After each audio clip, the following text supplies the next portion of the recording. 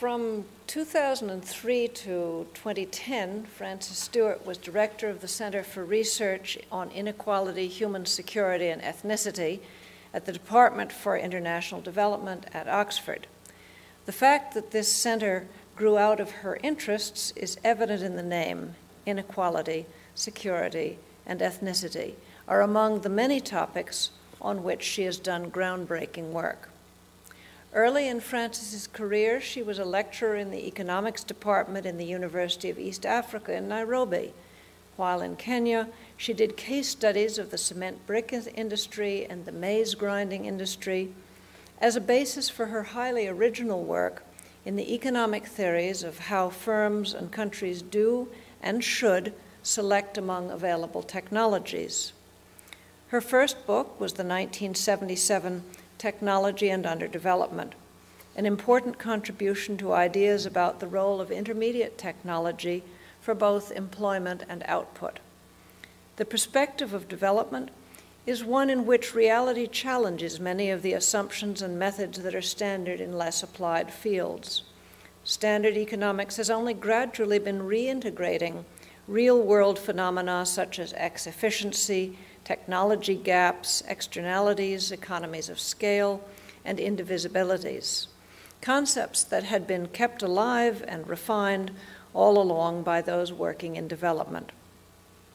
At Oxford, where Frances has spent much of her working life when not in the field, she was in the thick of the controversy over social cost benefit analysis, where she protested the unrealisticness of the idea that governments could know and apply social valuations for a whole society without being unduly swayed by those who held the most political power.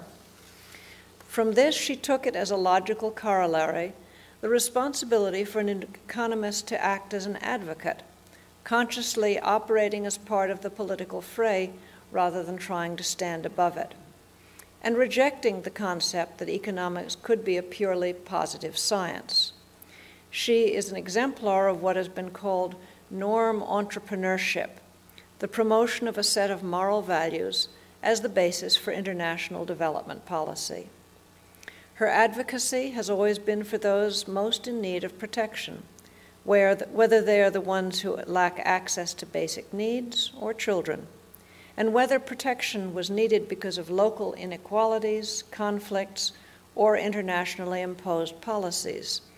It was the last of these which informed her participation in UNICEF's influential 1987 study, Adjustment with a Human Face. Frances's recent works have included War and Underdevelopment, published in 2001, and in 2008, Horizontal Inequalities and Conflict, Understanding Group Violence in Multi-Ethnic Societies. She is president of the Human Development and Capability Association and vice chair of the United Nations Committee on Development Policy. She was previously vice chair of the board of IFPRI, the International Food Policy Research Institute.